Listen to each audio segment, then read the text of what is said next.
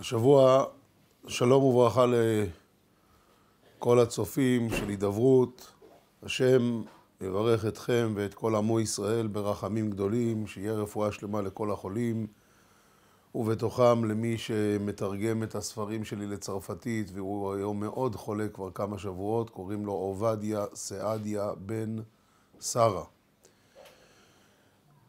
ושייתן הקדוש ברוך הוא בריאות לכל הבריאים, שיישארו בריאים, ויתמיד את חסדו עלינו. השבוע אנחנו קוראים פרשת אחרי מות קדושים, ובפרשת אחרי מות אנחנו קוראים את המצווה הנפלאה שנקראת ואהבת לרעך כמוך. הרבה שנים הייתה לי טעות, כמו להרבה אנשים, ש"ואהבת לרעך כמוך" פירושו, אתה צריך לאהוב את החבר שלך כמו שאתה אוהב את עצמך. יום אחד לפני הרבה שנים זכיתי להיות אצל רב מיכאל יהודה לבקוביץ', ראש הישיבה, זכר צדיק לברכה.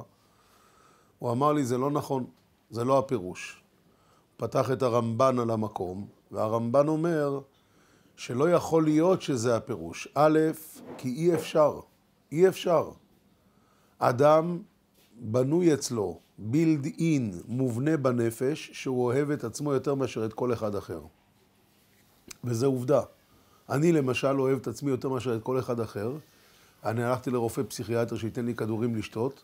הוא אמר, אין כדורים מפני שכל מי שנולד סובל מהבעיה. אז כך שזה, אי אפשר לצוות על דבר שהוא בלתי אפשרי. דבר נוסף אומר הרמב"ן, לא יכול להיות שזה הכוונה מפני שזה לא נכון לפי ההלכה. כולנו יודעים את הגמרא במסכת בבא מציאה, שניים שהולכים במדבר, לאחד יש מים, לשני אין, ואם הוא ייתן לו אז שניהם ימותו כי לא, יספיקו, לא, לא יספיק להם המים, אז מה הדין? חייך קודמים. נו, ומים ואהבת לרעך כמוך? הנה אתה רואה שלא יכול להיות שהפירוש ואהבת לרעך כמוך, שאני אוהב את השני כמו שאני אוהב את עצמי, את עצמי אני אוהב יותר, גם לפי ההלכה זה כך. דרך אגב, מה יקרה, מה יקרה אם אה, אדם ש... מעשה שהיה, כן? בסעודיה ידוע שמי שגונב מורידים לו את היד. יהודי הלך ברחוב, קפץ עליו שוטר משום מקום, הוא אומר לו, אני ראיתי שאתה גנבת. עכשיו, היהודי הזה לא גנב, זה סתם עלילה. אז הוא אומר לשוטר, אני לא גנבתי. אומר לו השוטר, אז תגיד את זה לשופט. והיהודי יודע שמילה שוט... שלו מול מילה של, של השוטר, ברור שהשוטר אה, זה, והלכה היד. עשה כל תצדקי שבעולם ברח. הגיע לאמריקה, הוא שומע בחדשות שמלך סעודיה לקח יהודי אחר, שם אותו בכלא ואמר שאם תוך חודש הראשון לא חוזר, לשני הוא מוריד את הראש. ועכשיו הוא בא אל כבוד הרבנים שליטה ושואל, מה הדין? האם אני חייב לתרום יד כדי להציל חיים של יהודי? זה תרומה, אני לא גנבתי. אבל אם אני לא אחזור, יורידו להוא את הראש. ואם כן, אז אני תורם יד. אני חייב לתרום יד? והלב אומר, הרגש אומר, הבטן אומרת, ודאי, מה, יד מול ראש? בטח. אבל בואו נחשוב רגע. הנה, השבוע נפטר לנו אחד מגדולי הצדיקים, הרב הבר, שדאג לחולי כליות. תגידו, אתם כבר תרמתם כליה? כליה זה הרבה פחות מיד. עם כליה אחת אפשר לחיות חיים נורמליים לגמרי. לעומת זאת, לעומת זאת, בלי יד, זה מוריד לך את האיכות חיים מאוד מאוד. ואני לא שואל אותך אם אתה תרמת. אני שואל, הרבנים כבר אמרו לנו שחייבים מי שאדם שהוא בריא והגיע לגיל 35-40 חייב לתרום כליה? לא שמענו על זה. לא שמענו. למה לא? הרי זה, הכליה זה הצלת חיים ממש. זה הצלת חיים ממש. השאלה הזאת שאני שאלתי עכשיו לא הייתה בסעודיה, אבל היא הייתה, והיא מופיעה בשו"ת הרדווז. ומה ההלכה? ובכן ההלכה כתובה בסימן ת', לא ת', סליחה, בסימן אה, רכ"ט בהלכות שבת, כתוב שמה שאדם שחולה, שצריך להציל אותו בשבת, יהודי, אז חייבים לחלל שבת. איזה מלאכות? כל המלאכות. אבל כותב החפץ חיים, המשנה ברורה, בתנאי שאתה לא מסכן את החיים של עצמך. אם אתה הולך להציל מישהו, אתה מסכן את החיים של עצמך, זה אסור. יותר מזה אומר החפץ חיים, ולא רק בוודאי סכנה שלו, אלא אפילו ספק סכנה שלי קודם לוודאי סכנה של חברי. שמעתם? ומה הרדווז פוסק לגבי היד והמול ראש? לא לתת. למה? זה סכנה לתת יד. חותכים יד, זה יכול להביא מוות. זה ספק סכנה, אבל זה קודם לחיים של... הש... הספק שלי קודם לוודאי של חברי. אז זאת אומרת ש"ואהבת לרעך כמוך" זה לא כמו שהבנו עד עכשיו. אין דבר כזה לאהוב את השני כמו שאני אוהב את עצמי. א', אי אפשר, ב', לפי ההלכה זה לא נכון. מה כן? אומר הרמב"ן, חייב אדם לפרגן לשני את מה שהוא מפרגן לעצמו.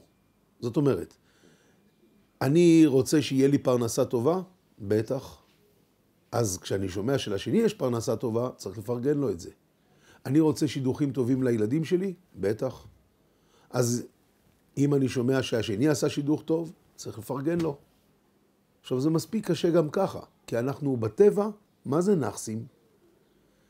כשאני שומע שלשני טוב, בטוח זה על חשבוני. אם יש לו כסף, זה על חשבוני, כי הרי אם זה לא היה אצלו, בטוח היה מגיע אליי. אז ממילא קשה לי לפרגן. אבל זה המצווה של ואהבת לרעך כמוך. מה שהייתי רוצה לעצמי, את זה אני חייב לתת לשני. וכדי שהדברים לא יעמדו באוויר, אז נפרוט אותם קצת לחיי המעשה. סיפור ראשון, יום אחד הייתי אצל מרן הגאון רב חיים קניאבסקי שליטה, ומי שמכיר שם את התור, אז כבר הייתי בתוך החדר שלו, ועדיין יש עשרה אנשים בתוך החדר, יש עוד עשרה אנשים לפניי. ניגש אליי הנכד שלו ואומר לי, אתה יודע, יש לך איזה שאלה אולי? אמרתי לו, יש לי, אבל תראה כמה אנשים מחכים, לא נעים. אמר לי, לא, סבא אוהב שאתה שואל, תשאל. ניגשתי, הגיע תורי, אני נעמד ליד הרב, ואני אומר לו, הרב, יש לי שאלה. הוא מרים את העיניים הקדושות שלו מהספר, הוא אומר לי, כן.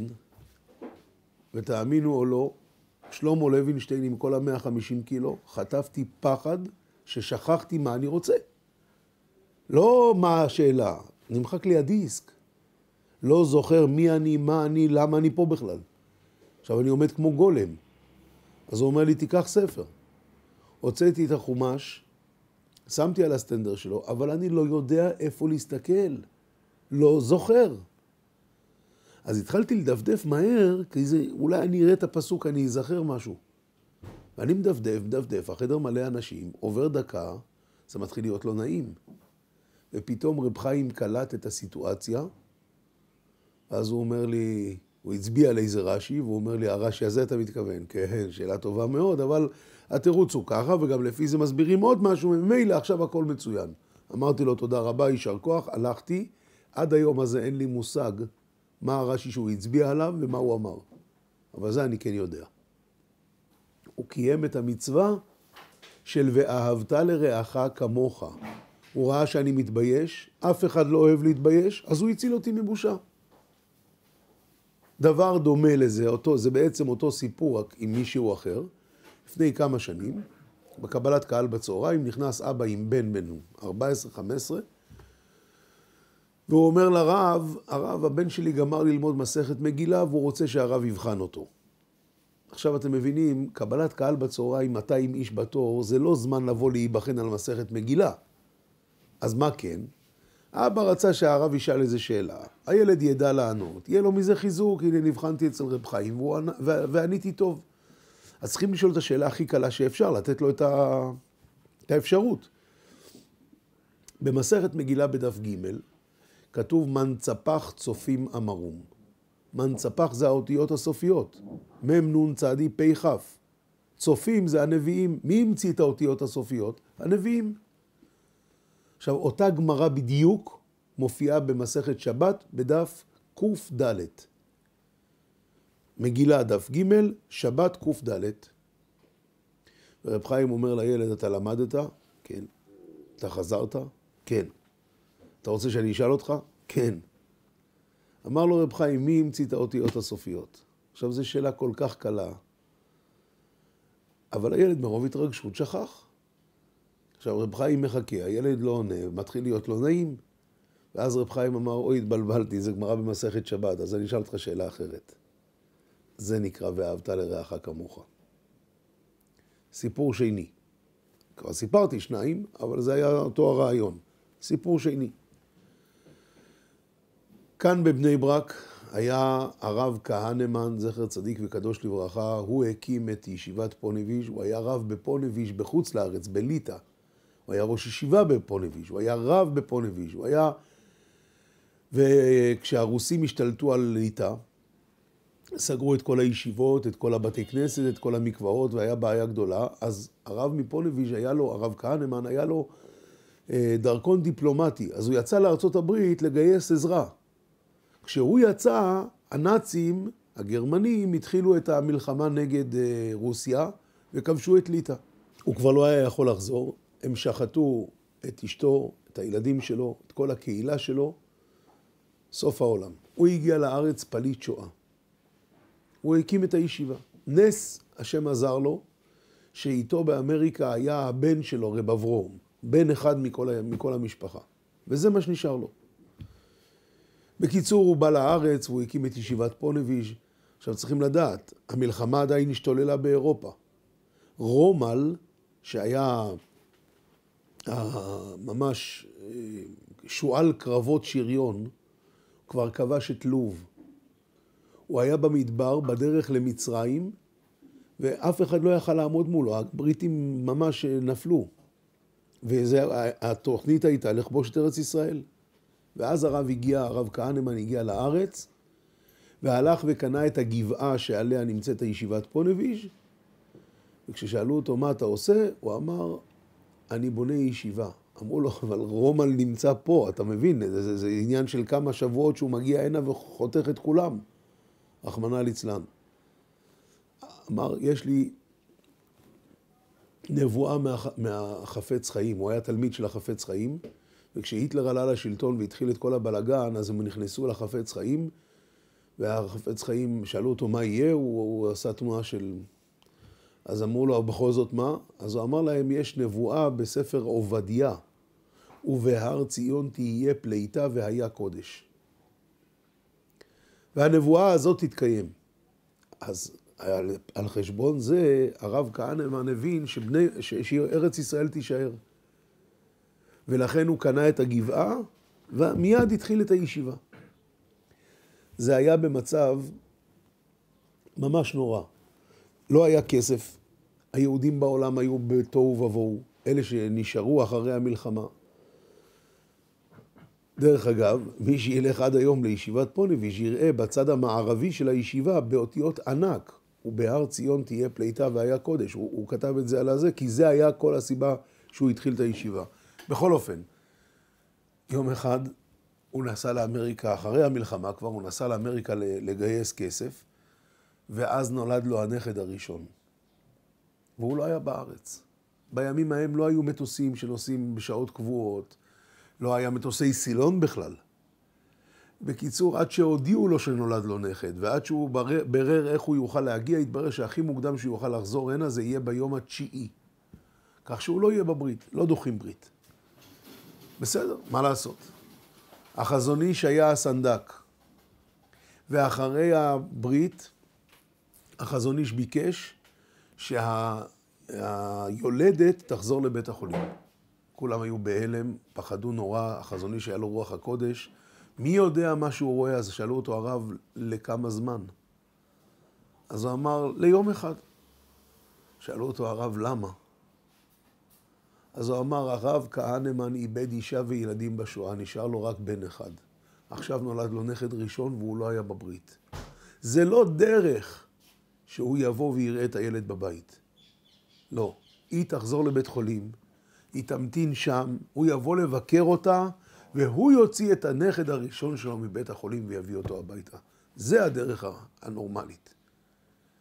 אמר לי על זה רב דויב לנד, ראש ישיבת סלבודקה, ורק תחשוב שאת ההרגשה הזאת הייתה לאדם שלא היה לו ילדים. לחזון איש לא נולדו ילדים. אבל הוא הבין, זה מה שאני הייתי רוצה. סיפור שלישי. אתם יודעים, יש בבני ברק קהילה גדולה שנקראת קהילת ויז'ניץ. חסידות ויז'ניץ. המנהג שם, שאת כל החתונות עושים בחצר של האדמו"ר, האדמו"ר מסדר חופה וקידושין. אחר כך הולכים איפה שרוצים לאכול את הסעודה, איפה שהזמינו. אבל החתונות, החופה וקידושין, תמיד בחצר של האדמו"ר. יום אחד הייתה חתונה, האדמו"ר ניגש לאבא של החתן ואומר לו, תראה, אני צריך לדבר איתך משהו דחוף, אבל זה לא לעכשיו.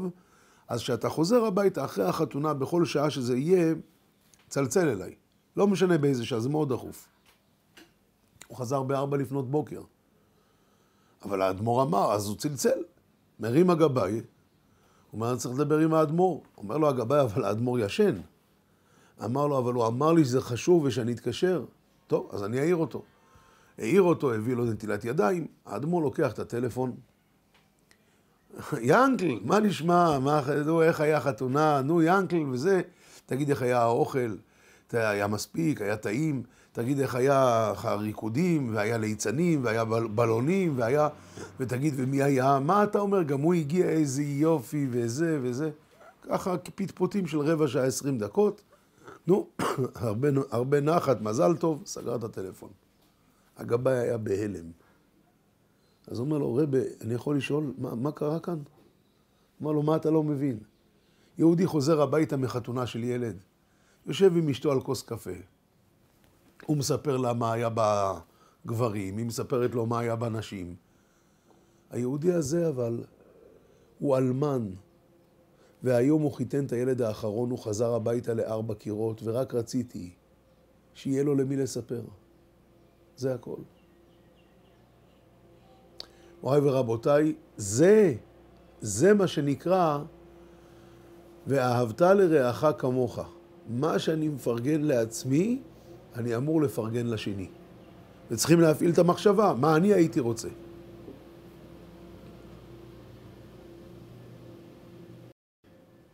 עכשיו, בנוסף לכך, אם זה לא מספיק, באה התורה ואומרת, עכשיו יש לי מצווה חדשה.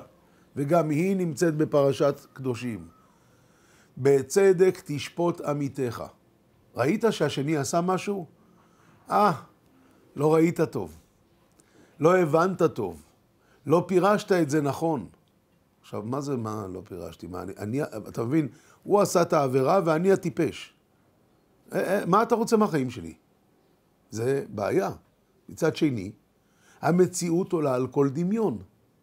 אתה רואה לפעמים דברים שפשוט המציאות עולה על כל דמיון. ניתן דוגמה.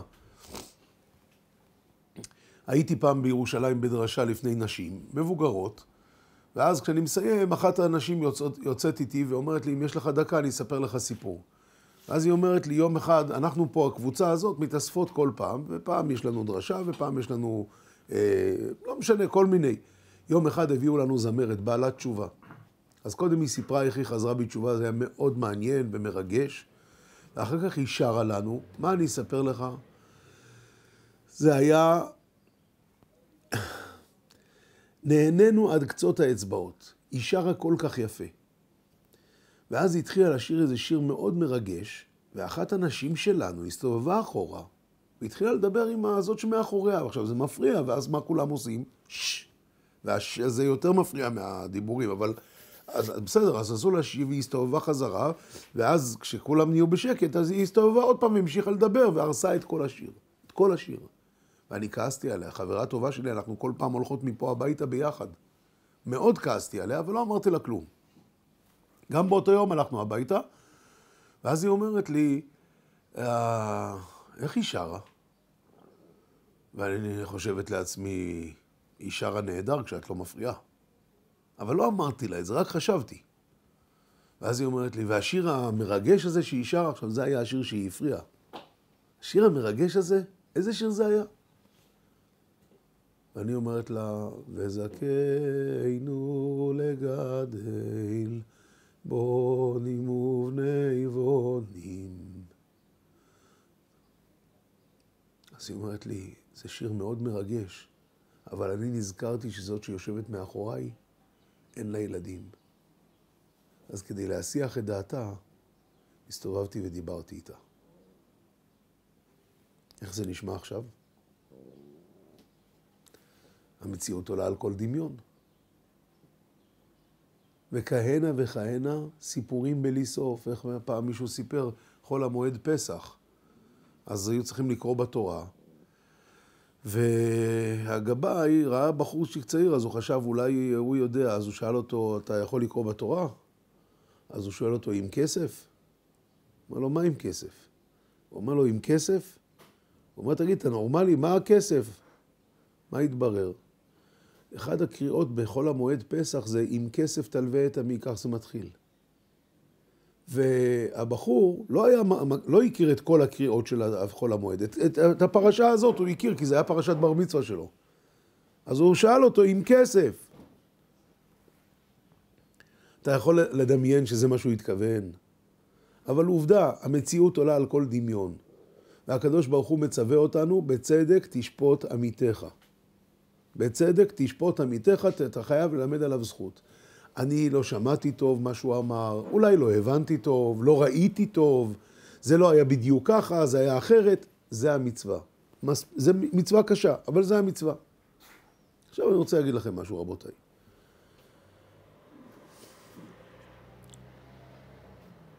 אני אקח דוגמה מהעולם שלנו, של הבנים. אדם צריך להתפעל כל יום במניין. עכשיו אנחנו לצערנו עם הקורונה מתפעלים ברחובות, אבל נורמלי, מתפעלים בבית כנסת. נניח בשבע מתחילה התפילה ואני הגעתי בשבע ועשרה. מה הדבר הראשון שאני רוצה?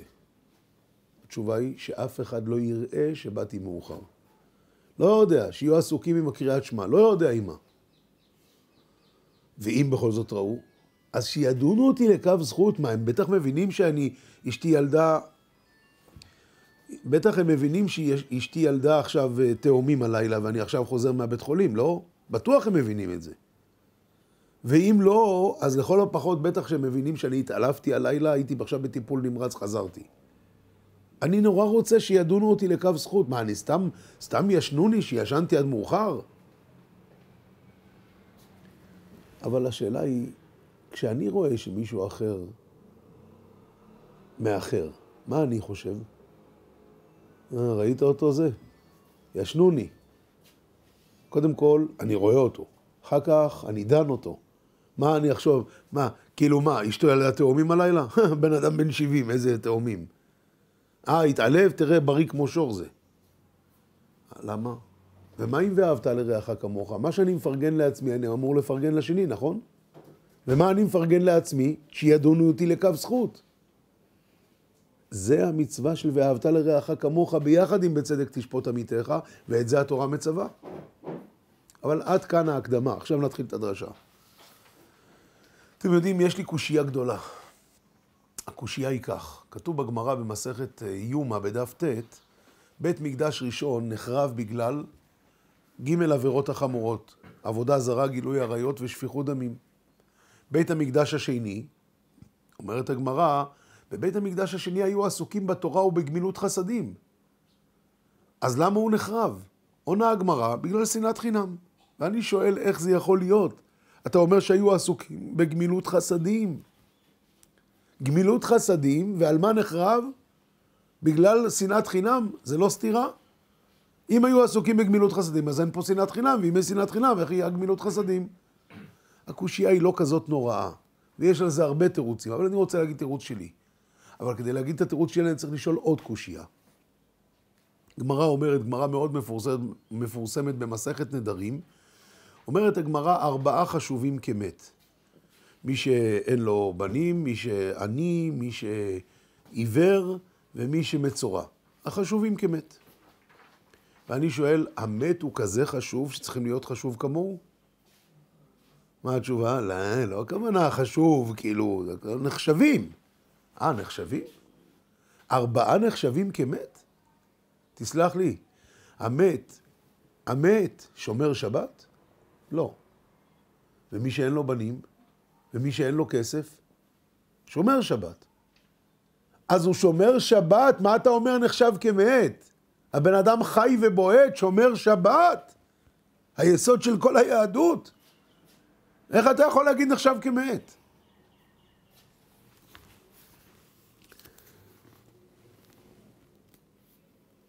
אתם יודעים, הבעיה שלנו לפרגן, ממה היא באה? הבעיה שלנו לפרגן היא באה מזה שאני מפחד שאם אני אפרגן לו, בסוף הוא יתנסה עליי.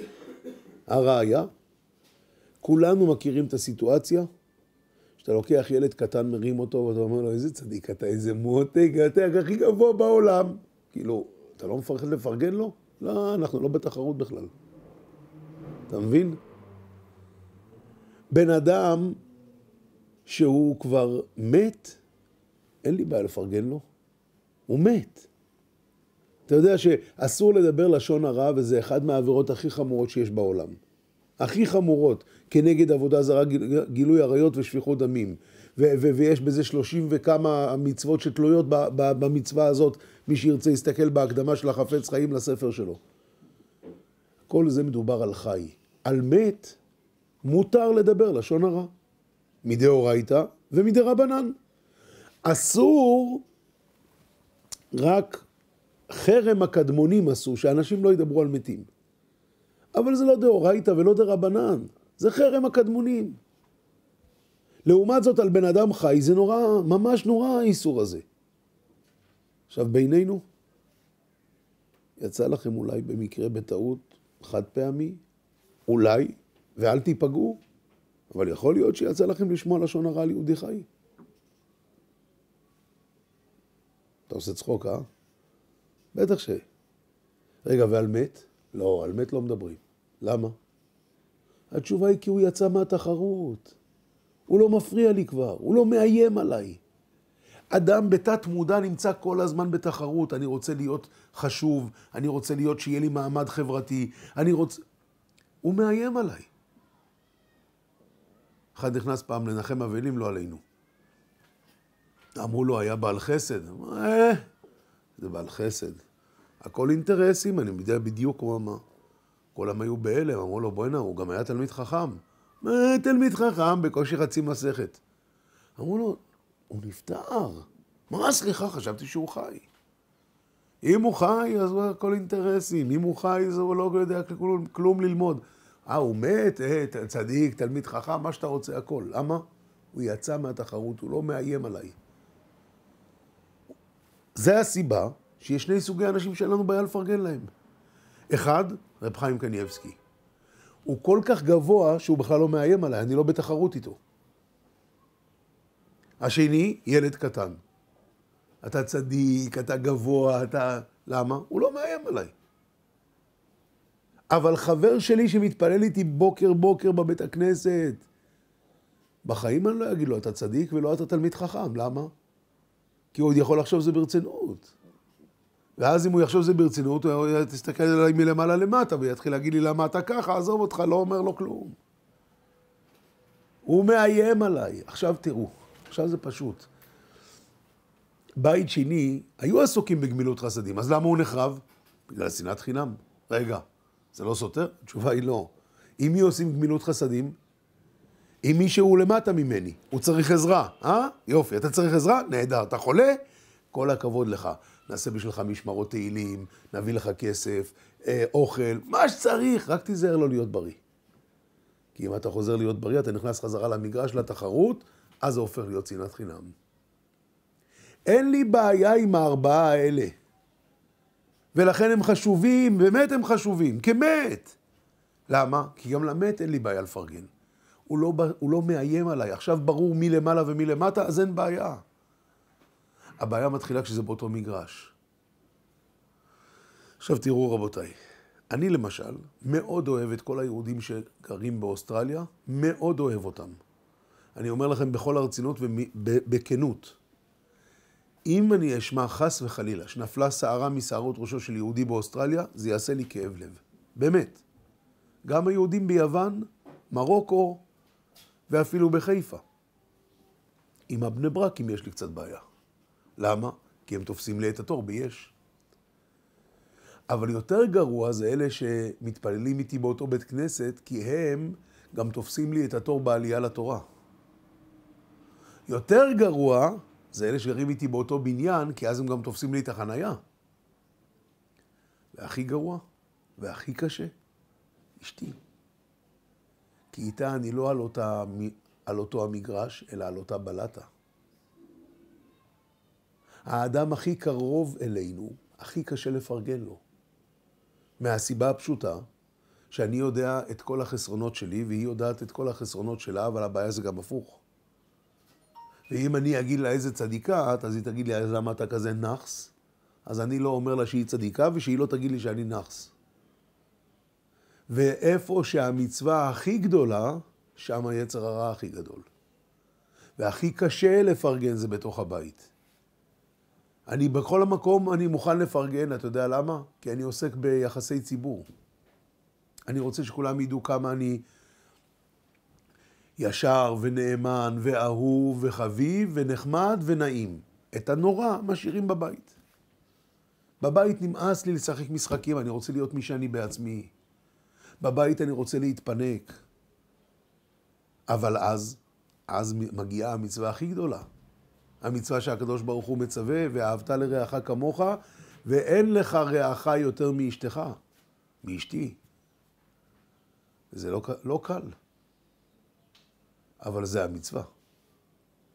אז נסיים רק בעוד דבר אחד שיכביד עלינו עוד יותר. הרמב"ם, יש לי עליו קושייה גדולה. מה הקושייה? הרמב"ם כותב הלכה מיותרת ב- ב- בספר שלו יד החזקה. יכול להיות דבר כזה, אין אות מיותרת ברמב"ם, אני אומר לכם שיש. איפה? הרמב"ם פוסק את המצווה של ואהבת לרעך כמוך שחייבים לאהוב כל יהודי. הואיל וכולנו נשואים ליהודיות, אז השאלה היה, אז למה הרמב"ם פוסק שאדם חייב לאהוב את אשתו כגופו? למה? אשתי יהודייה, אז אני חייב כבר לאהוב אותה מצד שהיא יהודייה. אתם יודעים מה התשובה? כי את היהודי ההוא אני לא חייב לאהוב כמו שאני אוהב את עצמי. אני רק חייב לפרקן לו. אבל באשתי, ההלכה היא שאני חייב לאהוב את אשתי כמו את גופי. המקום היחיד שבו אפשר לקיים את המצווה הזאת כי פשוטה, זה בבית. ושמה היצר הרע עובד הכי קשה. בבית, את אשתי אני חייב לאהוב כגופי. והיא חייבת להסתכל עליו ככה, מלמטה למעלה, ולכבד אותו כמו שר, ויש הלכות. אם היינו יכולים לעבוד על עצמנו באופן כללי במצווה הזאת, אבל גם בהבנה של המצווה, ואז היינו יכולים להביא את השלום בית אלינו הביתה בצורה היותר יפה ונכונה, ולהכניס את השכינה אלינו הביתה. כי איש ואישה אם זכו, שכינה שרויה ביניהם. וכשהשכינה נמצאת בבית, הברכה נמצאת בבית. כשהשכינה נמצאת בבית, השפע נמצא בבית. אין לך ברכה יותר גדולה מאשר שנזכה כולנו להשראת השכינה בבתינו, לשלום בית אמיתי בבתינו, לכבד אחד את השני, להבין אחד את השני, בצדק תשפוט עמיתך, בדיוק כמו שאני רוצה שישפטו אותי, ואהבת לרעך כמוך.